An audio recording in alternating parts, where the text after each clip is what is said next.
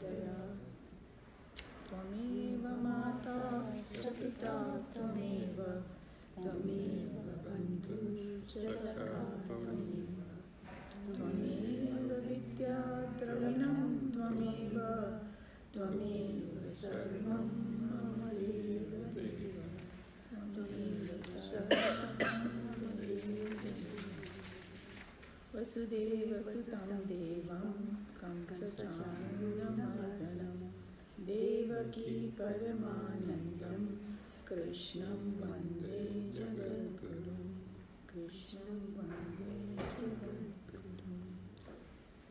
Okay, so we are at a section where Krishna Bhagwan is giving him the Brahma Gyan because Krishna Bhagwan realizes that firstly Arjun surrenders to him and Krishna Bhagwan realizes that that's the only kind of knowledge that is going to take away his grief, uh, his deep grief permanently. So he's also giving him a shock treatment and he's also reminding him that Atma is eternal.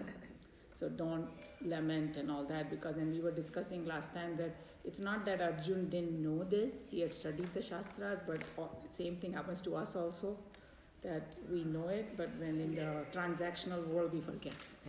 So, so it's like some people say, "Hey, why did he give him such a high knowledge suddenly?"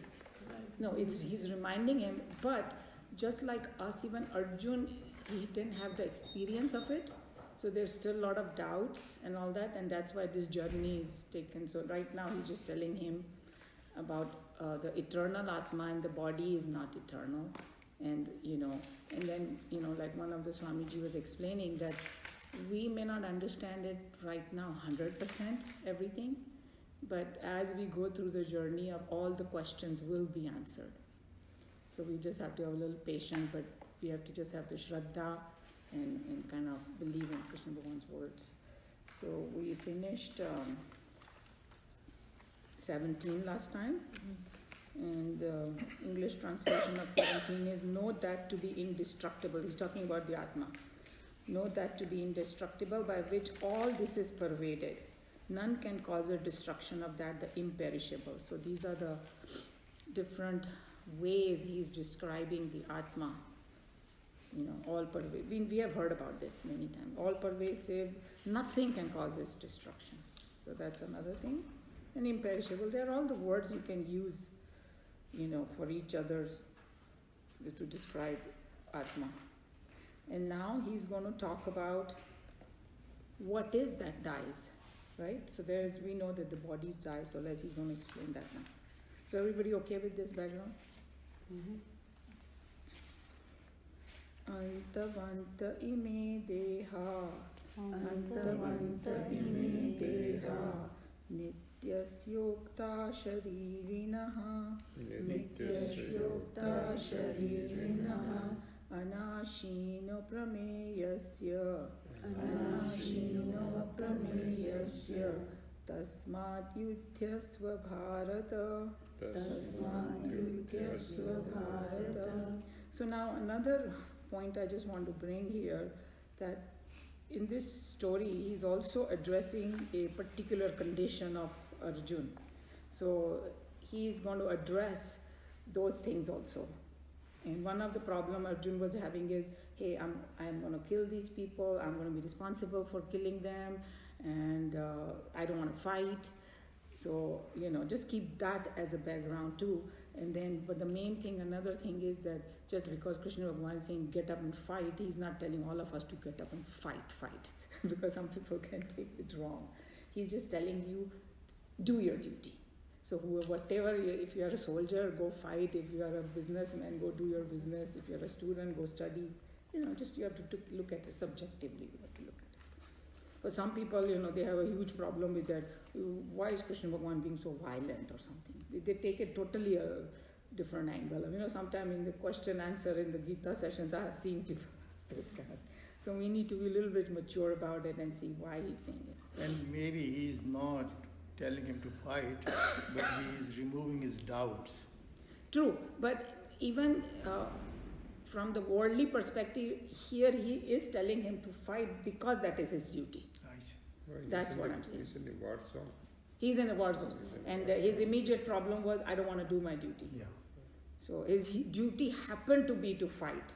So here, another way we can look at fight your war of your life.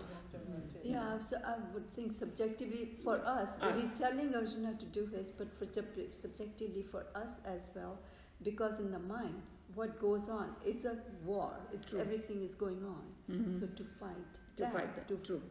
So there are those are the other yeah. ways we can interpret this. So now the word meaning, and these each word is has a very interesting meaning and we should even sanskrit words are going to be very interesting. Antavanta is having an end jiska ant ho jaye.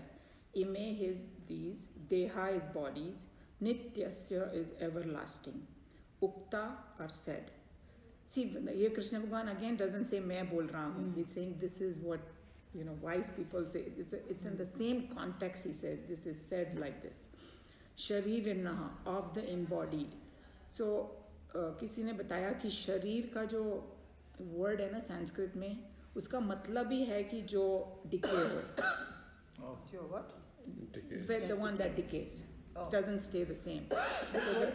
शरीर अपन हिंदी में बोलते हैं ना शरीर। शीरियते टे शरीर something like that means जो जो ऐसे दिखते कहते थे।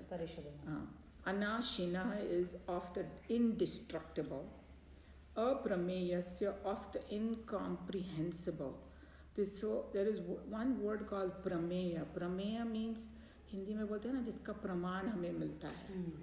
तो जिसका प्रमाण मिल जाए उसको प्रमेय बोलते हैं। और जिसका प्रमाण नहीं मिल सकता उसको अप्रमेय बोलते हैं। तो then they you know this निखिलाना ji was explaining that how in the world we gain knowledge प्रमाण। हम्म। ओके like uh, प्रमाण मीनिंग दैट कि मेरे को पाँचों इंद्रियों से जो दिखाई देता है वो। Right right? इसी को प्रमाण बोलते हैं ना कि मेरे को जो दिखाई देता है वो है। Yeah. फिर मैं uh, अपनी बुद्धि से सोचती हूँ। यस एंड देन और इन्फर इन्फर में बोलते हैं कि जब कोई धुआँ दिख रहा है कहीं तो आग भी होगी। Those kind of things are called प्रमाण okay they have he was just explaining the शास्त्रों ने इतना डिटेल डिस्कशन किया हुआ है, उन्होंने छः प्रकार के प्रमाण भी दिखाए हुए हैं कि भाई वन प्रमाण इज़ कॉल्ड शब्द प्रमाण शब्द प्रमाण ही वॉज़ टॉकिंग अबाउट कि that I can not comprehend by my five senses but somebody out there is experienced it and now they are telling you in words and that's word शास्त्र था that's word words of the wise are that is having faith that at that yes. point have faith. Have faith. Right. So that that because Shabda Praman is extremely important in finding who what Atma is. And then another such an interesting thing he said, and see if you can relate to it. I thought it was amazing the way he explained. He said that shabdapraman say atma ka experience experience नहीं हो सकता it will just tell you what आत्मा is not because हम लोग को गलत we think I'm the body, I'm the mind, I'm the intellect, this world is real and I have to do this and I have to do that. But we live in just that some kind of dream world. It tells you what Atma is not. After you continuously churn on what Atma is not, somewhere in your meditation and samadhi, Atma will reveal itself to you. You know that was very interesting because then we know the goal ये नहीं कि बहुत पढ़ने से अपने को आत्मा मिल जाए no it will just keep removing your misunderstanding. Your mind will keep getting purified because they say no, the dirt in the mind is like uh, uh, ignorance mm-hmm. of the atma. That's called the dirt of the mind. That's why we feel jealous, angry, this, that, because we are ignorant. So, so That is the process he was talking about. Because one thing it says it's not an object. Exactly. It's not an object, so you cannot, You cannot grasp it with five senses. there's no other proof for that. Right, exactly. So that's why Shabda Praman, that's why you see in, in Shastras they always say Shravanam, Mananam, Nididhyasan. You- Those are the three words they use. Shravanam is, you know, listening, listening. Because nobody can show eh, this is God or this is Atman. You have to hear, then think, and then it's a very deep subject, you know. So that's what it is. Yeah, most of these mantras they have got by hearing only. Yeah, they, they got revealed to them in their in their meditations. All the mantras, all the you know like जो भगवान का रूप वगैरह है वो भी मैंने सुना है कि जैसे how do we know how Krishna Bhagwan was looking, Yeah. right? But everybody has such a definite because lot of Yeah. different people and different meditations reveal the same thing. Mm. So then you know they, that's how they got it.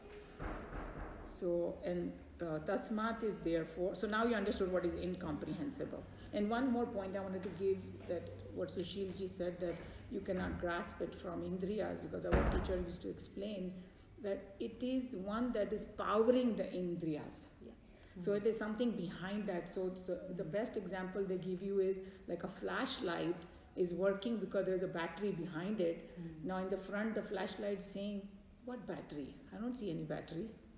Let, let me look at the battery and takes the battery out. of life doesn't function. It cannot recognize it itself from, from what is powering it. Basically, that's what it is. So interesting, huh? So those are the things we have to deeply think about it, and then we will get it. Tasmat is therefore, Yudhyasva is fight. Bharata is addressing an old oh, descendants of Bharat. That was a great king. So basically you know ये देखा उसको कैसे भारत अब बोल रहे हैं कि मतलब पूरा कंट्री का उसके ऊपर डाल दिया उन्होंने कि भाई you are so great you are descendant of this great person and now get up and fight don't just sit there and be depressed okay Meena ji पढ़िए they have an they have an and it is said. This bodies of the embodied self the self is eternal indestructible incomprehensible. Therefore, fight, O Bharata. So there's another word here, embodied self. So he, the explanation is कि वो sir, शरीर बोला ना और there is another word called shariri. Shariri is the indweller of sharir.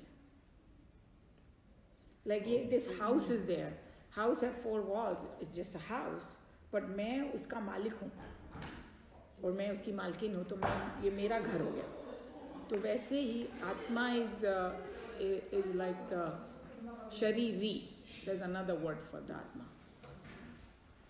so sharir and shariri So what is what is the meaning of these bodies of the embodied self? so so embodied self is the atma उसकी उसका ये जो body है ना वो उसका अंत हो जाता है that's what it means embodied को मीनिंग आत्मा जो बॉडी में रहता है उसको इम्बॉडीड बोलते हैं Oh, I मालिक okay. समझो Okay. हाँ I so got that's how it Yes, is. sir. The physical forms constituted by the matter envelopments are all perishable equipments for the indwelling self, which is the eternal factor, ever in its nature changeless, indestructible, and incomprehensible. By the term ever changeless, the Supreme is indicated to be eternal because the non eternals, by their nature, must be ever changing, since change is the insignia of the finite. The term indestructible is not an unnecessary tautology when it is used in conjunction with the term ever changeless, meaning eternal. Here, the term indestructible is to indicate, as Shankara says, both the type of destructions that are possible in a structure which we usually observe in life. The body may be said to have come to destruction on the funeral pyre, where it indicates a total annihilation, and it may be that a fat man, due to illness, may get himself reduced to girth, wherein also we say his health is destroyed. Thus, either a total destruction or partial destruction is possible in finite objects. Here, by using the two terms, eternal, nitya, and indestructible, anasin, the Lord is indicating that neither a total nor a partial destruction is possible in the Supreme. So here he is, there are so many different adjectives that are used, and each one is like just indicative of the nature of Brahman, you can call it, or Atma and Brahman is the same thing. And what he's saying that on the, why they are using the different different words, each word opens up a little bit more about the nature of Atma. So he's saying one is called eternal, तो हमेशा रहता है. But another word is like indestructible. उन्होंने ये इसलिए बोला because कोई चीज़ हमेशा रहती है लेकिन चेंज भी हो सकती है. For example the five elements you know they are they kind of eternal from our perspective but they keep changing so what he sang is this particular आत्मा उसमें कोई चेंज भी नहीं होता है. पार्शल या full even though it is eternal it just is the same and that's why we have this we do this पूर्ण मदर पूर्ण मिदम क्योंकि जो पूर्ण है, उसमें कोई फ़र्क नहीं पड़ता है. उससे कितनी भी चीज़ें निकले बाहर whatever happen is not like उसका व्यय हो जाएगा या उसका खर्चा हो जाएगा. Stage the same it's very very hard for us to scientifically comprehend this but you know know we can see this अभी स्पेस है. स्पेस को कुछ भी नहीं होता है. विद इन फाइव एलिमेंट्स में भी जो स्पेस है it is almost like eternal from our perspective उसमें न्यूक्लियर बॉम्ब फोड़ दो या कोई हरिकेन आ जाए या यू नो क्या बोलते हैं केमिकल ब्लास्ट हो जाए you know it just in the air gets messed up but the space को तो कुछ नहीं होता ना So we can see that. And the other example I was thinking about is sunlight. Sunlight uh, touches everything, but it does nothing happens to it. Doesn't get contaminated. Sun doesn't get contaminated by us. True or not? True. Yeah. And without sun, we cannot function. So that's another very good example of the Atma that we need sun for us to function and do whatever we need to do. Nothing happens to it. It doesn't get contaminated. From your astronomical point of view, yes, eventually it will go away, but that's why they're saying Atma is even beyond that. Know? So if we can understand sun and space, then we can kind of comprehend what they're talking about. The partial destruction also. So this, I mean, these are little heavy things. gave, gave the examples of the body, which is, you know, which you can understand here. Say that of the- again. I mean, here the partial destruction, they just gave the example of, Of a the body, yes. Yes, Yeah. which we can all Yeah. comprehend. So here, Krishna Bhagavan is trying to explain the difference between the Atma and the body. Yeah. And, and once you kind of get what he's saying, there is a huge difference between them. Yeah. Body is constantly changing. You know, it's like the polar opposite of it, mm-hmm. right? Yeah. exactly. Yeah. yeah. So he's just telling Arjun by reminding him, hey, you, you thinking that you are killing them, you know, you are nobody to kill them. If you think about it. Because Atma ko to koi maar hi nahi sakta. But hmm. what, what the way Swamiji was explaining is that in the line of your duty, if some of these things happen, you have to accept them. They may be unpleasant. Not everything that we do every day is like pleasant in our duties. We know that with our children, with our whatever, other people, so many unpleasant things, but we don't say, oh, I'm not going to do it because it's unpleasant. We still do it because it's, that's what I need to do. So, By qualifying the eternal as unknowable is not in any sense to indicate that the Supreme is unknown. The term unknowable is only meant to express here that it is not knowable through the usual organs of perception. The sense organs are the instruments through which consciousness beams out and in its awareness objects are objects get illumined. These instruments of cognition, whether they be sense organs or the mind or the intellect, in themselves are inert and can have their knowledge of perception only when they are dynamized by the conscious spark of life. As such, these organs cannot make the very consciousness an object of their apprehension. Therefore, in terms of our most common source of knowledge, direct perception, the Shastras say here that the Supreme is unknowable, it being self स्वतः सिद्ध। स्वतः सिद्ध। So so here one very important point सो उन्होंने बोल दिया कि it is un अनोएबल ना अर्जुन से फिर लाइक स्वामी जी से फिर what are we doing that if it is un unknowable आपको तो कभी मिलेगा ही नहीं. So he doesn't want to get dejected all he means is is trying to open up that word like Sushil ji वो saying that it is not knowable by the five organ sense organs you cannot see like Isangola, you cannot see it but you can be it because in your meditation uh, after like i was saying that by reading the shastras we know what atma is and what it's not then you continuously kind of churn upon it. it and all that and one day it you know it's like as though bottom of the river is revealed to you because all the way of water is gone something like that. And then ye siddha jo up it means it is self-effulgent also you can say. it doesn't need any other knowledge to know it by itself you can know it. It's a little bit difficult concept, but the way we were explained is sunlight. To see the sun, you don't need any other sunlight.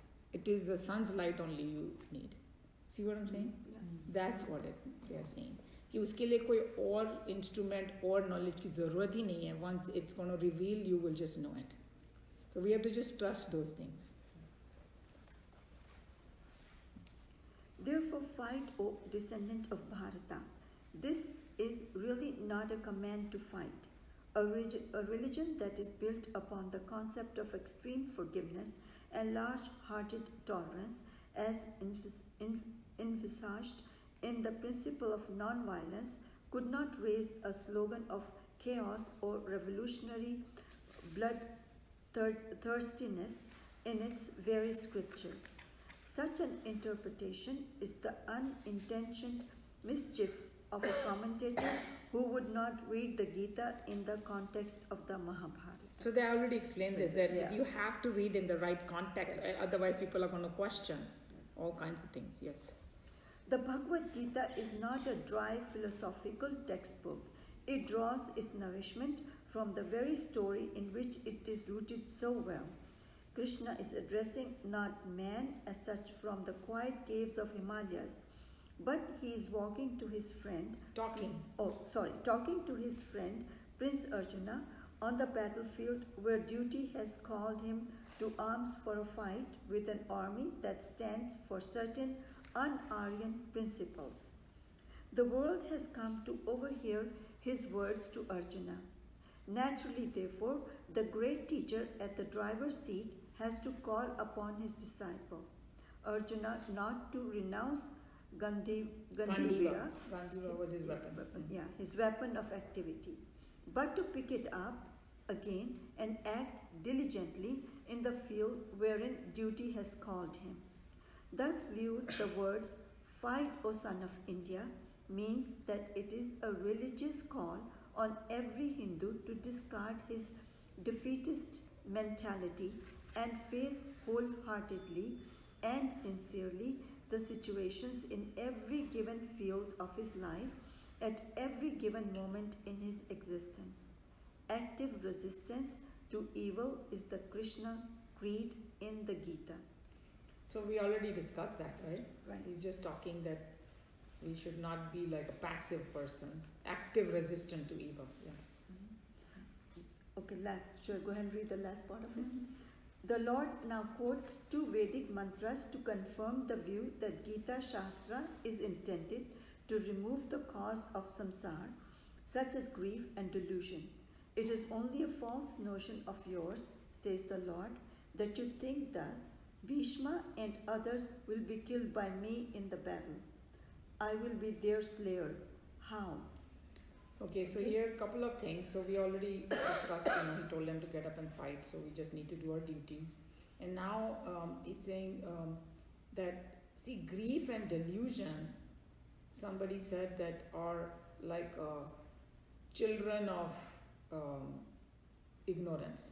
When we don't know who we are, grief will come, delusion comes, and with delusion, grief comes. So, so he wants to remove the cause of it, cause of samsara, and that is samsara. If samsara is constantly changing, you cannot catch it. You know, that's what we our problem. The grief happens that when changing thing you don't want it to change. That's when the grief happens. If you really think about it, that's exactly what you know. The Bhishma Pitama and all that in their line of moving ahead, they were going to die in this war because they sided with the bad guys. That was the cause of their. Otherwise, they were very glorious people. The reason they had to die because they sided with the bad guys. So that had to happen anyway. In that process, so once he's removing his cause, that's one point over here. And um, and the Vedic mantra he's talking about इस कठोपनिषद के मंत्र is the next one is Kathopanishad का मंत्र that is taken it literally verbatim किसी ने joke भी किया कि Krishna was a first pleasure क्या बोलते हैं उसको प्लेजरिज्म बोलते हैं ना प्लेजर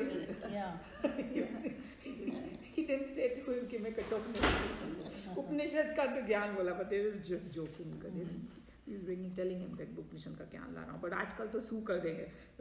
मेरा वर्ड्स ले लिया तुमने. So this is from Kathopanishad that's what he's going to mention and um, and then oh yeah another very important thing that Arjun was having two problems one is oh these people are going to die and I will be the one killing them that's what he was saying. My, if you remember one of the verses, he said, "My hands are going to be slain, stained with their blood. How do you expect me to enjoy my life and all that?" So now he's going to say, at that highest level, nobody's killing anybody. And then, but the Swamiji was saying that this particular concept is very deep. You may not get it in one shot, but have a little patience.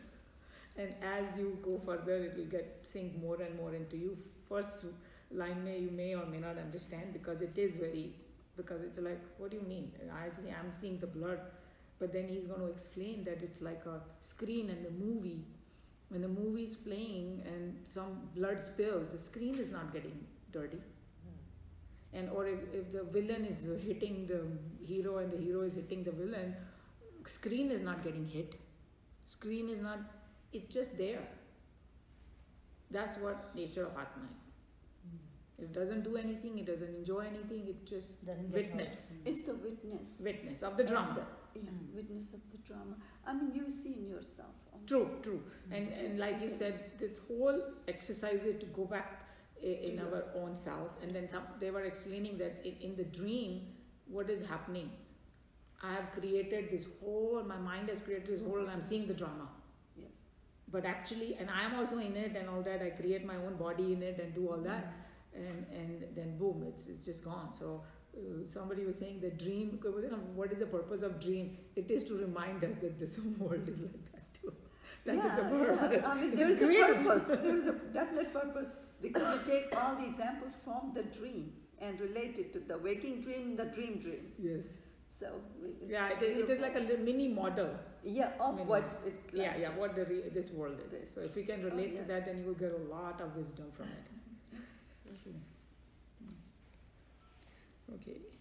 य एन वेत्ति हन्तारं य एनं वेत्ति हन्तारं यश्चैनं मन्यते हतं यश्चैनं मन्यते हतम्। उभौ तो न विना विजानीतो। उभौ तो न विजानीतो। नायं हन्ति न हन्यते। नायं हन्ति न हन्यते। यः इज़ ही हु एनम इज़ दिस सेल्फ। वेत्ति नोज़ हंतारम स्लेयर। यह he who sure and enam is again this. Manyate means things. Hatam means slain. Ubhav both. Tau those no is not. Vijani taha no no means not. Ayam this. Hanti slays. No not. Hanyate to slay. Okay. I mean, until she up and he who takes this self to be the slayer, and he who thinks he is slain, neither of them knows. He slays not, nor is he slain. So now with that example that I gave you, from that example you think about it. Basically, he, what I'm understanding is he's saying self is nothing is happening to the self. Neither is self killing nor it- it is killed. So self is Yeah, so you got it. That's exactly what he's trying to say. So, and, and also, uh, it's saying that uh, the person who is thinking that, oh, I'm dying, and the person who is killing the other person, neither of them knows. Know the truth, yeah. Yeah. And then he, that, that's what he's saying. Yeah. It is a Hindu tradition that the children of Aryavarta, though they